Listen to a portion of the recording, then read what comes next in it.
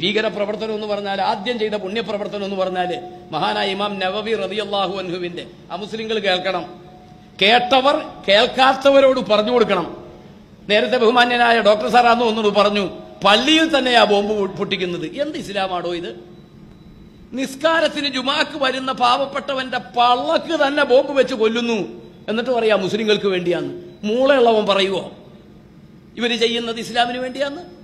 ഇമാം നബബി തങ്ങൾ അഞ്ഞൂറിലധികം ഗ്രന്ഥങ്ങൾ ലോകത്ത് സമർപ്പിച്ച വലിയ മഹാന എത്ര? അഞ്ഞൂറിലധികം. ഭരണം കിട്ടിയ പാടെ ചെന്ന് മൂപ്പരുടെ കബറങ്ങോട്ട് തട്ടി തകർത്തു പൊളിച്ചു കളഞ്ഞു. പൊളിച്ചു കളഞ്ഞു. മക്കത്തും മദീനത്തും ഉണ്ടായിരുന്ന നൂറുകണക്കിന് മഹാന്മാരുടെ കബറുകൾ ഉണ്ടായിരുന്നു. ഉണ്ടായിരുന്നു. ഈ മഹാൻ എന്നതുകൊണ്ട് ഉദ്ദേശിക്കുന്നത് എന്താണ്? കുളിക്കാതിരിക്കുക അലക്കാതിരിക്കുക മുടിവെട്ടാതിരിക്കുക നഖം വെട്ടാതിരിക്കുക നമസ്കരിക്കാതിരിക്കുക നോമ്പെടുക്കാതിരിക്കുക നോമ്പെടുക്കുന്നവനെ നോമ്പ് മുറിപ്പിക്കുക. അങ്ങനെ എന്തേലും ആണോ ഉസ്താദെ. എന്തോട്ടെ ഇവിടെ ഇമാം നവവി റഹിമുല്ലാന്റെ മക്കാമ് എന്ന് പറഞ്ഞുകൊണ്ട് മക്ബറ ജാറ കെട്ടിപ്പൊക്കിയപ്പോൾ അതാരൊക്കെയോ പൊളിച്ചു കളഞ്ഞു എന്നുള്ളതാണ് ഇദ്ദേഹം പറയുന്നത്. അങ്ങനെ പൊളിച്ച് കളഞ്ഞുവെങ്കിൽ അതാണ് ഇസ്ലാമികം എന്നുള്ളത് പരിശുദ്ധ ഗ്രന്ഥങ്ങളിൽ നിന്ന് ഹദീസ് ഗ്രന്ഥങ്ങളിൽ നിന്ന് പഠിക്കാൻ കഴിയും ഉസ്താദെ. നിങ്ങൾ കണ്ടിട്ടില്ലെങ്കിൽ ഒന്ന് പോയി പഠിക്കും. അത്രയാണ് പറയാനുള്ളത്. അപ്പോൾ യഹിയബിൻ ഷറഫുദ്ദീൻ അന്നവി എന്ന് പറയുന്ന ഇമാം ഷാഫി റഹിമുല്ലാന്റെ പരമ്പരയിൽപ്പെട്ട ഒരു പണ്ഡിതനാണ്. അദ്ദേഹത്തിന്റെ ജാറം ആരെങ്കിലും പൊളിച്ചു കളഞ്ഞിട്ട് അത് നിരപ്പാക്കിയിട്ടുണ്ടെങ്കിൽ ഒരു ചാണൽ അധികം പാടില്ലല്ലോ. അപ്പോൾ അത് നല്ല കാര്യം. അത് പൊളിച്ച് കളഞ്ഞതാരാണ് എന്നുള്ളത് അത് മറ്റൊരു ചർച്ച. അല്ലേ?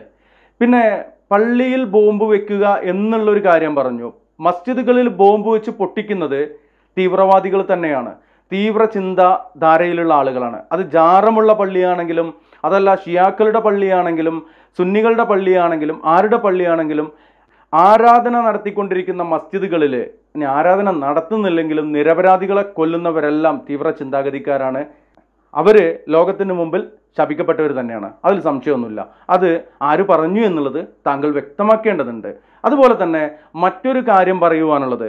ഇപ്പം ചില പള്ളികളിലൊക്കെ മനുഷ്യ ബോംബ് അതുപോലെ ഉള്ള ബോംബുകളൊക്കെ പൊട്ടാറുണ്ട്. അത് അവരുടെ ആ പ്രാദേശികമായിട്ടുള്ള അവിടുത്തെ കാര്യങ്ങളാണ്.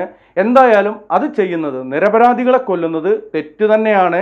അത് യഹ്യബിൻ ഷർഫുദ്ദീൻ നബി റഹിമുല്ലാന്റെ കബർ പൊളിച്ചു കളഞ്ഞതിനാ അത് അങ്ങനെ ഇസ്ലാമിക രാഷ്ട്രങ്ങളിൽ അങ്ങനെ വന്നു കഴിഞ്ഞാൽ അതാണ് ഇന്നത്തെ ചർച്ച വരുന്നത്.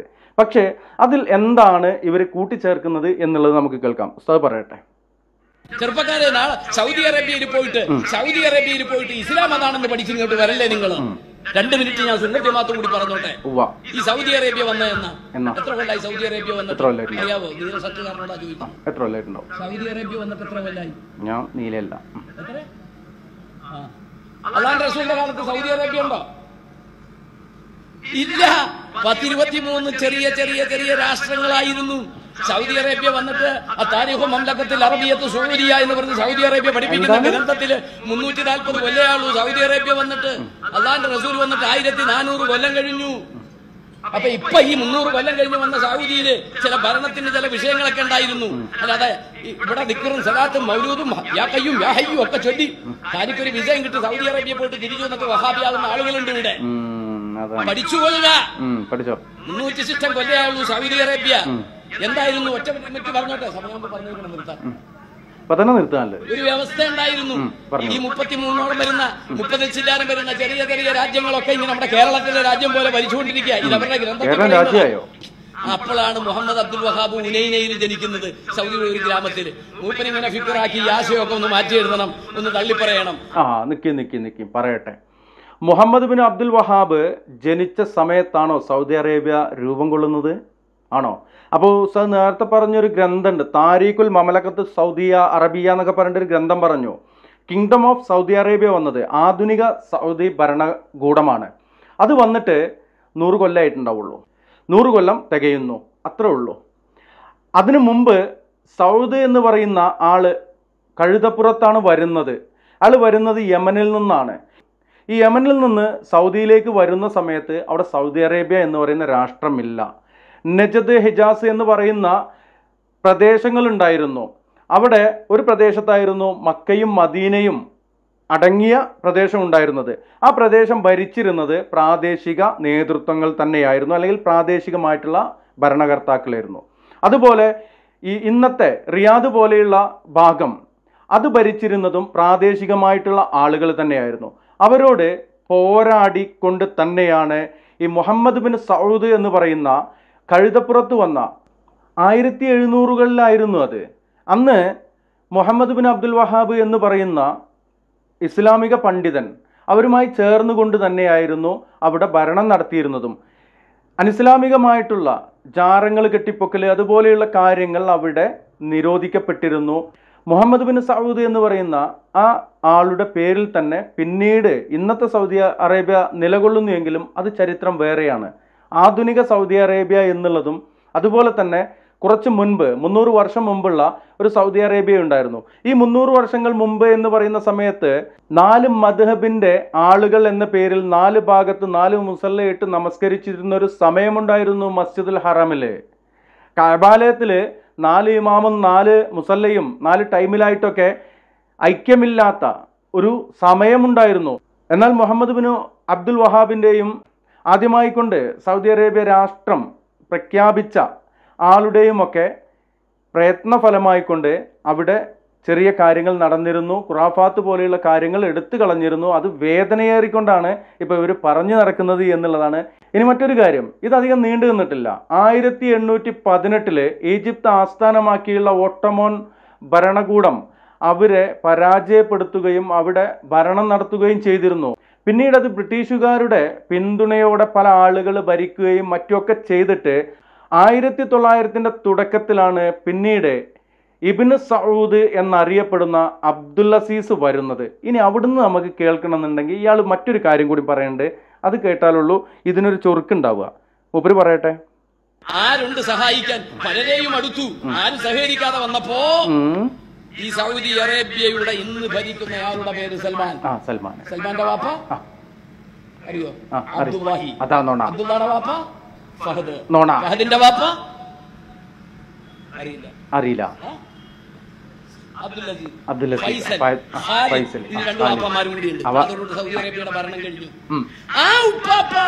ചിന്തിച്ചുകൊണ്ടിരിക്കുക. നമ്മുടെ നാട്ടിൽ ചിന്തിച്ച പോലെ ഈ ചെറിയ രാജ്യങ്ങളെയൊക്കെ ഒന്ന് വെട്ടിപ്പിടിച്ചത് വലുതാക്കിയാൽ ഉത്സാഹമാണല്ലോ പക്ഷെ മൂപ്പർ തൊട്ട് കഴിയുകയില്ല. അവിടെ നിൽക്കി അവിടെ നിൽക്കി എന്താ പറഞ്ഞത്? സൽമാൻ രാജാവിന്റെ വാപ്പാന്റെ പേര് അബ്ദുള്ള.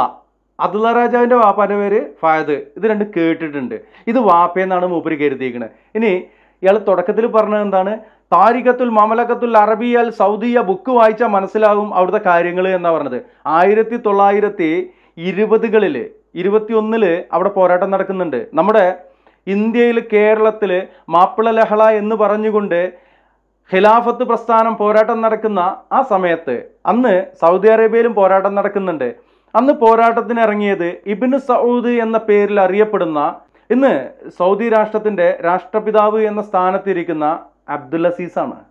ഈ അബ്ദുൽ അസീസ് സൗദിന്റെ പണ്ട് മുന്നൂറ് വർഷങ്ങൾ മുമ്പ് മുഹമ്മദ് ബിൻ അബ്ദുൽ വഹാബുമായിട്ട് ചേർന്നിട്ടുള്ള മുഹമ്മദ് ബിൻ സൗദിന്റെ പരമ്പരയിലുള്ള ആളാണ്.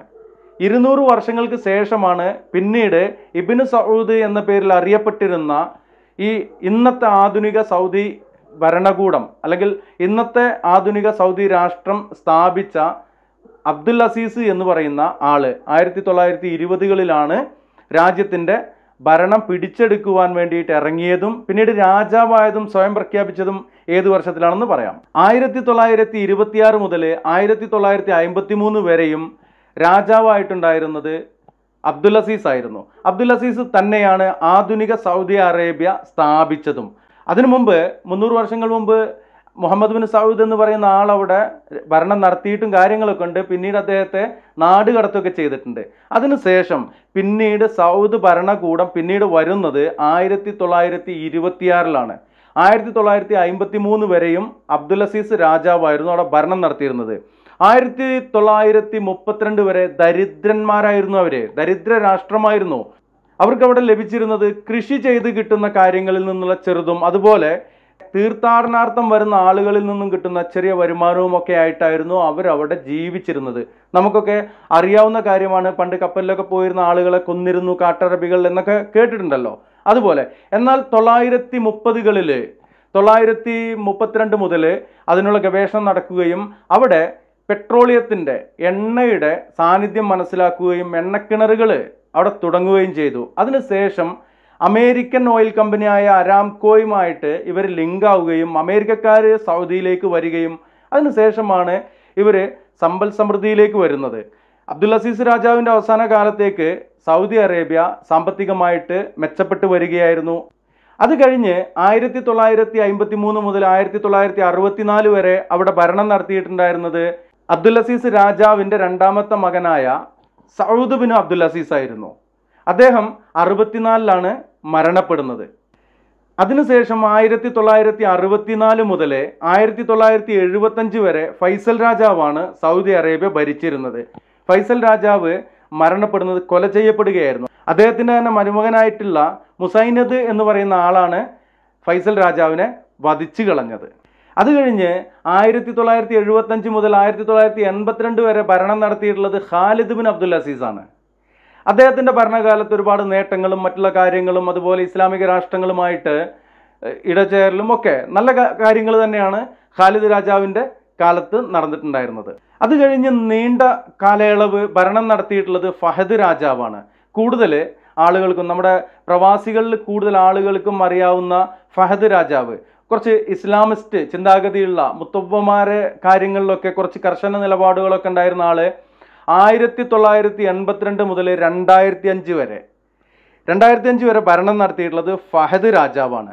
ഫഹദ് രാജാവിന്റെ കാലത്താണ് കൂടുതൽ വിദേശ രാഷ്ട്രങ്ങളുമായിട്ട് നയതന്ത്ര ബന്ധങ്ങളും അതുപോലെ തന്നെ ഡിഫൻസ് ഈ സൗദി അറേബ്യയുടെ ഡിഫൻസ് ഫോഴ്സിൽ കുറച്ച് കൂടുതൽ കാര്യങ്ങളൊക്കെ നടത്തിയിട്ടുണ്ടായിരുന്നത്. ഇനി രണ്ടായിരത്തി അഞ്ചിന് ശേഷം രണ്ടായിരത്തി പതിനഞ്ച് വരെ പത്ത് വർഷക്കാലം ഭരണം നടത്തിയിട്ടുള്ളത് അബ്ദുല്ല ബിൻ അബ്ദുൽ അസീസ് ആണ്. ഞാൻ സൗദി അറേബ്യയിൽ ഉണ്ടായിരുന്ന കാലത്തൊക്കെ അബ്ദുള്ള രാജാവായിരുന്നു അബ്ദുള്ള രാജാവ് മരിക്കുന്ന സമയത്ത് സൗദി അറേബ്യയിൽ ഉണ്ടായിരുന്നു. അതുപോലെ തന്നെ സൽമാൻ രാജാവ് ഭരണം തുടങ്ങിയ സമയത്തും സൗദി അറേബ്യയിൽ ഉണ്ടായിരുന്നു. ഇനി ഇപ്പോൾ രണ്ടായിരത്തി പതിനഞ്ച് മുതൽ ഇപ്പോൾ ഈ നേരം വരെ ഭരിച്ചുകൊണ്ടിരിക്കുന്നത് സൽമാൻ ബിൻ അബ്ദുൽ അസീസ് ആണ്. ഇനി ഇതിനിടയ്ക്കൊരാൾ ആഭ്യന്തരമന്ത്രിയായിട്ടുണ്ടായിരുന്ന അതുപോലെ തന്നെ അടുത്ത രാജാവ് എന്ന് പറഞ്ഞുകൊണ്ട് കിരീടാവകാശി എന്ന് പറഞ്ഞുകൊണ്ട് നായിഫ് ബിൻ അബ്ദുൽ അസീസ് ഉണ്ടായിരുന്നു. അദ്ദേഹം സൽമാൻ രാജാവ് രാജാവാകുന്നതിന്റെ തൊട്ട് കുറച്ച് മാസങ്ങൾ മുമ്പാണ് മരണപ്പെട്ടത്. അല്ലെങ്കിൽ സൽമാൻ അല്ലായിരുന്നു. സൽമാൻ ഹഫിലഹുല്ല അദ്ദേഹത്തെ അങ്ങനെ പറയാം ഹാഫിലാണ്. അവരിൽ രാജാക്കന്മാർ ഒട്ടുമിക്ക ആളുകളും ഇസ്ലാമികമായിട്ട് അത്യാവശ്യം പഠനങ്ങൾ നടത്തുകയും ഖുർആൻ ഹിഫ്ലാക്കുകയൊക്കെ ചെയ്തിട്ടുള്ള ആളുകളാണ് എന്ന് കേട്ടിട്ടുണ്ട്. അപ്പോൾ നായിഫ് ബിൻ അബ്ദുൽ അസീസ് മരണപ്പെട്ടതിന്റെ സാഹചര്യത്തിലാണ് സൽമാൻ ബിൻ അബ്ദുൽ അസീസ് രാജാവാകുന്നത്. ഇനി അടുത്ത കിരീടാവകാശി അവിടെ പ്രഖ്യാപിക്കപ്പെട്ടിട്ടുണ്ട്. അത് മുഹമ്മദ് ബിൻ സൽമാനാണ്. ഇനി ഒരു കാര്യം. ഇവിടെ നമ്മൾ തുടക്കം പറഞ്ഞത് ആയിരത്തി തൊള്ളായിരത്തി ഇരുപത്തിയാറിൽ അബ്ദുൽ അസീസ് രാജാവ് ഇബിനു സൗദ് എന്ന പേരിൽ അറിയപ്പെടുന്നതാണ്. ഇപ്പോൾ ഇസ്ലാമിക ഭരണകൂടത്തിൽ അഞ്ചാം ഖലീഫ എന്നറിയപ്പെടുന്ന ആൾ അത് ഒരുപാട് കാലശേഷമാണ് ഉമർ ബിൻ അബ്ദുൽ അസീസ് ആയിരുന്നു. അതുപോലെ ഇബിന് സൗദ് എന്ന പേരിൽ അറിയപ്പെടുകയാണ്. അതിന് ഇടയിൽ കുറേ മക്കളും കാര്യങ്ങളൊക്കെ ഉണ്ടായി പോയിട്ടുണ്ട്.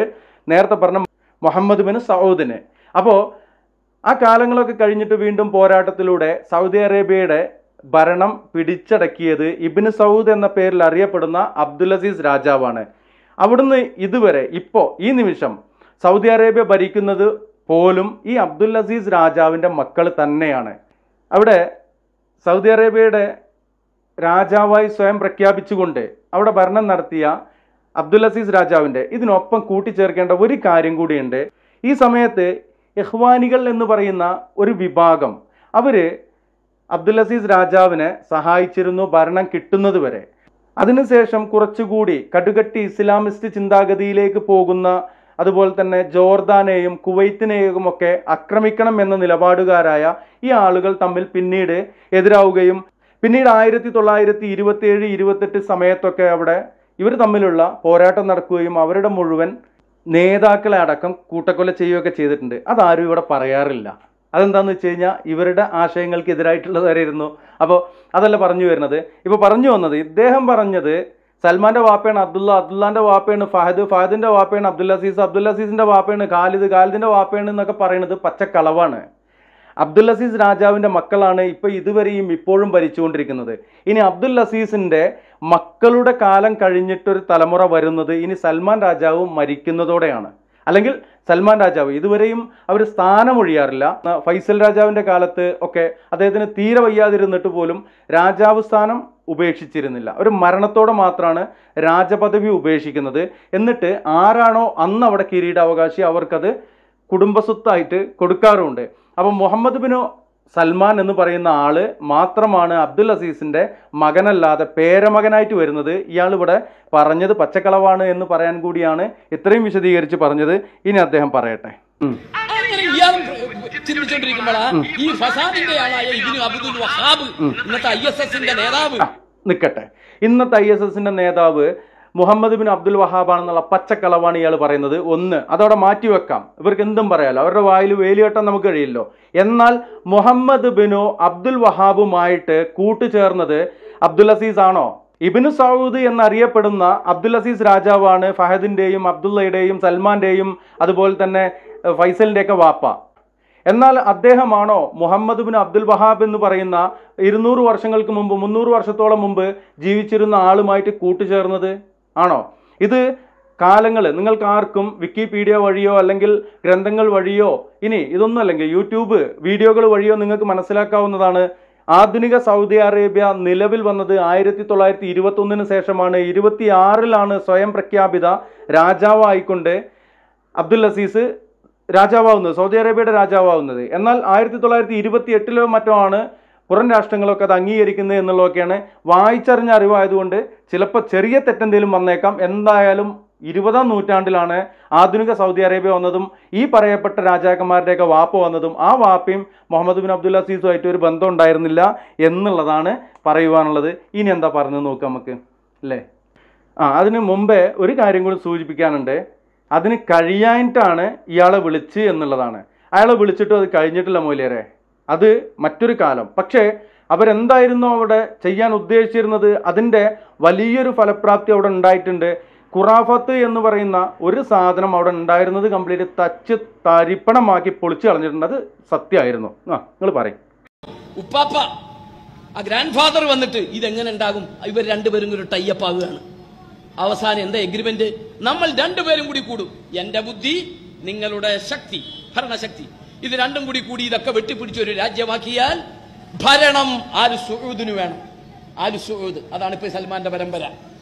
അതിൽ മതം പറയാനുള്ള അവകാശം ആലു ഷെയ്ഖിന് വേണം. അതാണ് വഹാബി ഷെയ്ഖ് അന്ന് മുതൽ. ഇപ്പോഴത്തെ അവസാനത്തെ അബ്ദുൽ അസീസ് ആലു ഷെയ്ഖാണ് മുഫ്തി ആയിട്ടുള്ളത് ആ ഒരു കണ്ടീഷൻ വെച്ചിട്ട് പടയോട്ടം തുടങ്ങി രക്തവിപ്ലവത്തിലൂടെ നൂറുകണക്കിന് ആളുകളെ കൊന്നൊടുക്കി. മഹാന്മാരുടെ മക്ബറകൾ അടിച്ച് തകർത്താണ് വഹാബിസം ഉണ്ടായത് ആ മുസ്ലിങ്ങളെ ഞങ്ങൾ കഠിന ശത്രുക്കളാണ് കേട്ടോ. ആ ആ മുസ്ലിങ്ങളെ ഞങ്ങൾ കഠിന ശത്രുക്കളാണ് കേട്ടോ എന്ന്. ഓ ശരി. ശരി രാജാവേ അല്ലേ? ഇവിടെ പറഞ്ഞത് മഹാന്മാരുടെ മക്കബറകൾ തച്ച് തകർത്താണ് വഹാബി രാഷ്ട്രം ഉണ്ടാക്കിയതെന്നൊക്കെ പറയുന്നത്. അവരുടെ നിങ്ങൾ വിക്കിപീഡിയയിൽ അടിച്ചു നോക്കുക അല്ലെങ്കിൽ അറബി അറിയുന്ന ആർക്കും സൗദികളോട് ചോദിക്കാം അവർ ഏതാണ് അവരുടെ വിശ്വാസം എന്നുള്ളത്. അവർ സുന്നി വിശ്വാസക്കാരാണ്. ഷിയാക്കളല്ല. പിന്നെ ഷിയാക്കളും ഉണ്ട് അവിടെ. ചില ഭാഗങ്ങളിലൊക്കെ ദമാമിന്റെ ചെറിയ ഭാഗങ്ങളിലൊക്കെ ഈ ബഹ്റൈൻ ബോർഡർ അവിടെയൊക്കെ ആയിട്ട് ഷിയാക്കളുമുണ്ട് എന്ന് കേട്ടിട്ടുണ്ട്. തൊണ്ണൂറ്റൊമ്പത് ശതമാനവും സുന്നികളാണ്. പിന്നെ വഹാബികളെന്നോ മുജാഹിദുകളെന്നൊക്കെ പറയാം. മുജാഹിദ് എന്ന് പറഞ്ഞാൽ കേരളത്തിലുള്ള സംഘടനയാണ്. സലഫികൾ എന്ന് പറഞ്ഞാൽ തെറ്റില്ല. സുന്നികൾ തന്നെയാണ് സലഫികളും. സലഫി എന്ന് പറഞ്ഞാൽ സലഫു സാലേഹ്യങ്ങളെ പിന്തുടരുന്നവർ. ഞാൻ മതത്തെക്കുറിച്ച് കൂടുതൽ പഠിക്കുന്നത് സൗദി അറേബ്യയിലെ ജാലിയാത്തിൽ നിന്നാണ്. അതുകൊണ്ട് തന്നെ അവിടെ വഹാബിസമാണ് എന്ന് പറഞ്ഞാൽ അംഗീകരിക്കാൻ ബുദ്ധിമുട്ടുണ്ട്. ഇബിനു അബ്ദുൽ വഹാബിന്റെ ആശയാദർശങ്ങൾ അവർ എടുക്കുന്നുണ്ട്. ഇമാം ഷാഫിയുടെ എടുക്കുന്നുണ്ട്. ഇമാം അഷരിയുടെ എടുക്കുന്നുണ്ട്. ഇമാം അഹമ്മദ് ബിൻ ഹംബലിന്റെയാണ് കൂടുതൽ അവർ എടുക്കുന്നത്. അതുപോലെ ഇമാം അബു അനീഫയും ഇമാം മാലിക് പോലെയുള്ള മഹാരഥന്മാരെ എല്ലാം അവർ അംഗീകരിക്കുന്നുണ്ട്. എന്നാൽ അവിടെ ഇസ്ലാമിന് പുറത്തുള്ള കുറാഫാത്തുകൾ ഈ ഇല്ലാത്ത കെട്ടുകഥകളും മിത്തുകളും അതുപോലെ അന്ധവിശ്വാസങ്ങളും അവരെടുക്കുന്നില്ല അതൊരു സത്യം തന്നെയാണ്. നിങ്ങൾ പറയും. ഞങ്ങൾ ആ മെമ്പറിൽ കൂട്ടലങ്ങൾ അവർ പറയുന്ന ഇസ്ലാമല്ല. മുഖത്ത് നോക്കി ചിരിക്കുന്നത് പാപമാണോ. അങ്ങനെ പറഞ്ഞത് ആരാണ്? മുഹമ്മദ് ബിൻ അബ്ദുൽ വഹാബാണോ അദ്ദേഹത്തിന്റെ കിതാബ് തൗഹീദിൽ അത് വിശദീകരിക്കുന്നത് ആരുടെ ഗ്രന്ഥത്തിൽ നിന്നാണ്? തൊഹ്ഫ എന്ന് പറയുന്ന ഒരു ഗ്രന്ഥം മൂല്യരങ്ങൾ കണ്ടുക്കണോ? ആ തൊഹ്ഫ എഴുതിയത് ആരാണെന്ന് മൂല്യർക്ക് അറിയോ? ആ തൊഹ്ഫ എഴുതിയത് ആരാണെന്ന് അറിയുമെങ്കിൽ ഇനി ആരാണെന്ന് അറിയില്ലെങ്കിലും അറബി അറിയുമെങ്കിൽ ആ തൊഹഫ എന്ന് എടുത്തു നോക്കുക. അതിൽ പറഞ്ഞ കാര്യം തന്നെയല്ലേ? കിതാബ് തൗഹീദിൽ എന്താണെന്ന് വിശദീകരിച്ചിട്ടുള്ളത്. ഇതിനിടയ്ക്ക് ഞാൻ ആ പേര് പരാമർശിക്കുന്നില്ല. ഇതിനിടയ്ക്ക് അത് ചെറിയ വിഷയങ്ങളായതാണ്. ഒരു മൗലവി അതിന്റെ പേരിൽ കേസ് വരികയൊക്കെ ചെയ്തിട്ടുണ്ട്. എന്തിനാണ് ഈ അനാവശ്യമായ കാര്യങ്ങൾ ഇങ്ങനെ വിളിച്ചു പറഞ്ഞുകൊണ്ട് സഹോദരന്മാരെ വീണ്ടും പ്രതിക്കൂട്ടിലാക്കുന്നത്? അല്ലേ? അപ്പോൾ അത്തരത്തിലുള്ള കാര്യങ്ങൾ തൊഫയിൽ നിന്ന് അറിയുന്നവർക്കറിയാം. എന്താണ് ആ വിഷയം എന്നുള്ളത്? അതുകൊണ്ട് ആ ഒരു വാക്ക് ഞാൻ പറയുന്നില്ല. അത് മുഹമ്മദ് ബിൻ അബ്ദുൽ വഹാബ് എഴുതിയതല്ല പറഞ്ഞതല്ല. തൊഹയിലുള്ളത് അള്ളാഹുവിന്റെ ഹബീബ് സല്ലാ അലൈഹി സ്വലമയുടെ വാക്കുകൾ ആ കാര്യങ്ങൾ അടിസ്ഥാനമാക്കി തന്നെയാണ്. അത് വിടി നിങ്ങൾ പറയും. ഇന്നലെ ഒരു കാക്ക എഴുന്നേറ്റ് എന്ന് പ്രസംഗിക്കുന്നുണ്ട്. എന്റെ മക്കൾ ആരെയും ഞങ്ങൾ പോളിയോ എന്നും കൊടുത്തിട്ടില്ല. പോളിയോ കൊടുക്കുന്നത് ഹറാമാണ്. നിരീക്ഷ അത് കുഫിരിയത്തിലേക്ക് പോകും. കേട്ടില്ലേ നിങ്ങൾ പ്രസംഗം? അങ്ങനെ ഒരാൾ പറഞ്ഞിട്ടുണ്ടെങ്കിൽ എന്റെ മക്കളെ പോളിയോ കൊടുക്കുന്ന ആളാണ്. ഞാൻ പോളിയോ കൊടുക്കണ്ട എന്ന് പറയുന്നവർക്കും എതിരല്ല പോളിയോ കൊടുക്കുന്നവർക്കും എതിരല്ല. ഇനി ഒരു കാര്യം പറയട്ടെ. ഇപ്പോൾ വാക്സിൻ കൊടുത്തു. വാക്സിൻ കൊറോണ ഉള്ളവർക്കാണോ കൊടുത്തത്? അതോ കൊറോണ വരാതിരിക്കാനുള്ളവർക്കാണോ കൊടുത്തത്? കൊറോണ വരാതിരിക്കുക എന്നുള്ള കാര്യം കൊണ്ടാണ് കൊടുത്തത്. രോഗം വരാതിരിക്കുവാൻ ചികിത്സിക്കുക എന്നുള്ളതിന്റെ ഇസ്ലാമിക വിധി എന്താണ്? മുസ്ലിയരെ നിങ്ങൾ വെറുതെ എന്തെങ്കിലും എടുത്ത് വിളിച്ചു പറഞ്ഞിട്ട് കാര്യമില്ല രോഗം വന്നാൽ ചികിത്സിക്കുക എന്നുള്ളത് ഇസ്ലാമാണ്. ഇസ്ലാമിൽ പറഞ്ഞിട്ടുള്ളതാണ് ഒരു രോഗം അത് അള്ളാഹു സൃഷ്ടിച്ചിട്ടുണ്ടെങ്കിൽ അതിനുള്ള ഒരു മരുന്നും സൃഷ്ടിച്ചിട്ടുണ്ട് എന്ന് അള്ളാഹുവിന്റെ അബീബ് സല്ലാ അലൈഹി സ്വലാം പഠിപ്പിച്ചു തന്നിട്ടുണ്ട്. എന്നാൽ രോഗം വരാതിരിക്കുവാൻ ചികിത്സിക്കുക എന്നുള്ളത് എന്താണ്? കലാകഥറിൽ വിശ്വാസമില്ലാതെയാണ് ആ ചെയ്യുന്നത്. അത് ഷിർക്കിലേക്ക് വഴിവെക്കും. അപ്പോൾ അങ്ങനെ വാക്സിൻ കൊടുക്കൂല എന്നൊരാൾ പറഞ്ഞാൽ നിർബന്ധിച്ച് അത് കൊടുക്കണം എന്നുള്ളത് ആരുടെ ആവശ്യമാണ്? നിങ്ങളുടെ ആവശ്യമാണോ? ഇസ്ലാമികമായിട്ട് അതിന്റെ മാനം എന്താണ്? വാക്സിനുമൊക്കെ പോണ്ട. രോഗം വരാതിരിക്കുവാൻ ചികിത്സിക്കുക എന്നുള്ളത് അത് ഈ അടുത്ത കാലത്ത് ചൂട് വെക്കുക എന്നുള്ള വിഷയം സംബന്ധിച്ച് അബ്ദുൽ മൊഹസിൻ മൗലവി ആ വിഷയം സംബന്ധിച്ച് പറഞ്ഞിട്ടുണ്ട്. വിരുദ്ധാണ് ഒരാൾ പറയാൻ ചൂട് വെക്കുന്നത് കൊണ്ട് ഒരു രോഗം ഉണ്ടാവില്ല. അതാണ് രോഗങ്ങളൊക്കെ മാറ്റുന്നത് എന്ന് ജാഹലീയത്തിൽ വിശ്വസിച്ചതുപോലെ വിശ്വസിച്ചു ഇന്നും അങ്ങനത്തെ വിശ്വാസം ആളുകൾക്ക് ചില ചികിത്സാ രീതികളോടുണ്ട്. ചില ആളുകൾക്ക് ചില ചികിത്സാ രീതികളിലുള്ള വിശ്വാസം അനുവദിക്കപ്പെട്ട പരിധിക്കപ്പുറമാണ്. അതുകൊണ്ടാണ് ഇസ്ലാമിൽ ഒരിക്കലും രോഗം വരാതെ പോയി ചികിത്സിക്കുക എന്നത് ഇസ്ലാമിൽ കൽപ്പിക്കപ്പെട്ട കാര്യമല്ല. രോഗം വന്നാൽ തന്നെയും ഇത് വേറെ തന്നെ പറയേണ്ട കാര്യമാണ് ചില ചില പണ്ഡിതന്മാർ പറഞ്ഞു മൂന്നാണ് അവസ്ഥകൾ. രോഗം വന്നു. ഈ രോഗം മാറാൻ ഒരു ചികിത്സയുണ്ട് എന്ന് നിനക്ക് വ്യക്തമായി ബോധ്യപ്പെട്ടു. ആ ചികിത്സ സ്വീകരിച്ചാൽ രോഗം മാറും. എന്ന് ഏതാണ്ട് നിനക്ക് ഒരു പ്രതീക്ഷയുണ്ട്. മാത്രമല്ല ചികിത്സിച്ചിട്ടില്ല എങ്കിൽ നിന്റെ ആരോഗ്യം അപകടത്തിലാകും പ്രയാസത്തിലാകും. എങ്കിൽ ചികിത്സിക്കൽ നിർബന്ധമാണ്. ആ സന്ദർഭത്തിൽ നിന്റെ നീ മരിച്ചുവെങ്കിൽ ചികിത്സിക്കണം. ഏയ് ഞാൻ ചികിത്സിക്കാൻ അള്ളാൽ തൗക്കലേതിരിക്കാൻ പാടില്ല. രണ്ടാമത്തെ അവസ്ഥ ഒരാൾ രോഗം ബാധിച്ചു. അവൻ ചികിത്സിച്ചാൽ അവന്റെ രോഗം മാറുമെന്ന് അവന് പ്രതീക്ഷയുണ്ട്. പക്ഷേ ആ രോഗം അത്ര കഠിനമല്ല. ഉദാഹരണത്തിന് ഒരു പനി. ചില ആൾക്കാർ പനി വരുന്നതിന്റെ ഒരു വീട്ടിന്റെ വാതിലുമ പനി എത്തിയാൽ മതി. അപ്പോഴത്തേക്ക് ഹോസ്പിറ്റലിലേക്ക് ഓടും. അസുഖം വരു വരാൻ അവൻ ജീവിതത്തിൽ ഒരു അസുഖവും ബാധിക്കാതെ ജീവിക്കണം. അങ്ങനെ ആവരുത്. സുഖം വന്നാൽ പ്രതിഫലം. പ്രതിഫലമുണ്ട് അപ്പൊ അസുഖങ്ങൾ വരുമ്പോൾ പ്രയാസമുണ്ടാകുന്നതിന് മുമ്പ് പോയി ചികിത്സിക്കാൻ ഒഴിവാക്കണം. ഇത് വേറെ ഇൻഷാല്ല മറ്റൊരിക്കൽ നമുക്കത് വിശദീകരിക്കാം. ഓക്കെ ഇനി നമ്മളെ മൂല്യര് പറയട്ടെ. പോളിയോ കൊടുത്താൽ അത് നിരീശ്വരവാദം അത് സിൽക്കിലേക്ക് പോകും. ആരെങ്കിലും ഒരാൾ പോളിയോ കൊടുത്താൽ അവൻ പുറത്തു പോകും ഇമാതിരി ഭ്രാന്തും പറഞ്ഞുകൊണ്ട് നടക്കുന്ന. കുറെ ആളുകളുണ്ട്? അതും പബ്ലിക്കിൽ പറയേണ്ടി വന്നതിൽ ഞങ്ങൾക്ക് ബുദ്ധിമുട്ടുണ്ട്. ഒരു സക്കാഫി എന്ന നിലയിൽ അപരിമിതമായ ഇനി അതിനപ്പുറം എനിക്ക് പറയാൻ പറ്റില്ല. അങ്ങനെ ആ ഞങ്ങളെ തന്നെ കൊന്നു കളയണമെന്ന് തൊള്ളായിരത്തി തൊണ്ണൂറ്റി രണ്ട് ഒന്നിൽ അവരുടെ മാസം തൊള്ളായിരത്തി എൺപത്തി ഒന്ന് ജൂലൈയിൽ പറഞ്ഞു സുന്നികളെ കൊല്ലൽ നിർബന്ധമാണ്. അറിയാവുന്നത്? സുന്നികളെ കൊല്ലൽ നിർബന്ധമാണ് തൊള്ളായിരത്തി എൺപത്തി ഒന്ന് ജൂലൈ അൽബനാർ. പിന്നെ എന്താ കൊല്ലാൻ വരാതിരുന്നത് അത് വരവും ചെലവും കൂടി നോക്കിയാൽ ശരിയാവില്ല എന്ന് മനസ്സിലാക്കി.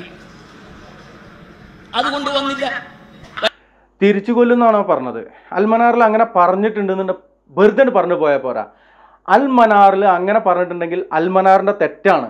കാര്യം നിങ്ങൾ എങ്ങനെ സുന്നികളാകുക? സുന്നി എന്ന് പറഞ്ഞാൽ എന്താണ്? ആ അത് പോട്ടെ. ഒക്കെ പറഞ്ഞു കഴിഞ്ഞപ്പോ വീഡിയോ നീണ്ടുപോകുള്ളൂ നിങ്ങൾ അതാണ് വഹാബിസം. അല്ലെങ്കിൽ മുജാഹിദ് പ്രസ്ഥാനം. അവരുടെ അവരുടെ നേതൃത്വത്തിൽ ഐ എസ് നടക്കുന്നത്. അത് ഇസ്ലാമല്ല. എന്തായാലും സൗദി അറേബ്യയിലൊക്കെ വലിയ മാറ്റങ്ങൾ വന്നിട്ടുണ്ട്. മാറ്റങ്ങൾ വരുത്തുമാറാവട്ടെ. അതുകൊണ്ട് ആ പ്രസ്ഥാനത്തിലേക്കൊന്നും പോവണ്ട. അവർ അവിടെ മാറ്റങ്ങൾ വന്നിട്ടുണ്ട്. ഇപ്പോൾ അവിടെ മൗലൂദ് തുടങ്ങി വന്നിട്ടുണ്ട് അവിടെ ജാറങ്ങളും പിന്നെ നേർച്ചകളും അതുപോലെ തന്നെ ചാടിക്കളിയും എന്തിനാണ് മൂല്യരെ ഇത്തരത്തിലുള്ള അനാവശ്യമായിട്ടുള്ള കാര്യങ്ങൾ പറഞ്ഞുകൊണ്ട് ഈ ഉമ്മത്തിനെ ഇങ്ങനെ പിഴപ്പിക്കുന്നത്? അൽമനാറിൽ ഇങ്ങനെ പറഞ്ഞിട്ടുണ്ട് എന്ന് പറഞ്ഞാൽ ആ അൽമനാർ കാണിക്കണം. ആ ലക്കം പറയണം. ആ വർഷം പറയണം. സുന്നികളെ കൊല്ലുക എന്ന് അൽമനാർ പറഞ്ഞിട്ടുണ്ട്. ഇനിയിപ്പോൾ അൽമനാർ അങ്ങനെ പറഞ്ഞിട്ടുണ്ടെങ്കിൽ അൽമനാറിന്റെ ആളുകൾ തീരുമാനാക്കട്ടെ. അവിടേക്ക് പോകുന്നില്ല. എന്നാൽ സൗദി അറേബ്യയുടെ ചരിത്രം പറഞ്ഞ കാര്യത്തിലൊക്കെ ഇയാൾ പറഞ്ഞ അതേ കാര്യം തന്നെയാണ് മറ്റുള്ള കാര്യങ്ങളിലും ഉള്ളത് എന്നുള്ളത് പറയുക. ഐ എസ് ഐ എസ് എന്ന് പറഞ്ഞാൽ Islamic State of Iraq Syria എന്ന് പറയുന്ന ടെററിസ്റ്റ് പ്രസ്ഥാനമാണ് അതിന് ഇസ്ലാമുമായിട്ട് യാതൊരു ബന്ധമില്ല അത് ഇസ്ലാമുമായിട്ടൊരു ഇല്ല എന്ന് മാത്രമല്ല അത് നടത്തുന്നത് മുസ്ലിങ്ങളും അല്ല അതിന്റെ നടത്തിപ്പാരാണ് അത് തുടങ്ങിയതാരാണ് എന്നൊക്കെ പണ്ട് ടോണി ബ്ലെയർ പറഞ്ഞിട്ടുണ്ട്. അമേരിക്കക്കും ബ്രിട്ടനും അതുപോലെ തന്നെ ഇസ്രായേലിയർക്കും മാത്രം അറിയുന്ന ഒരു സംഭവമാണത്. അവർ ആക്രമിച്ചിട്ടുള്ളത് മുസ്ലിങ്ങളെയാണ്.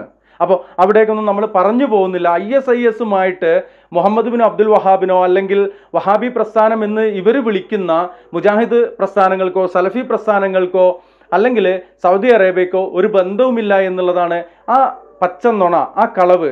സുന്നികളെ കൊല്ലണം എന്ന് പറയുന്ന ആളുകൾ.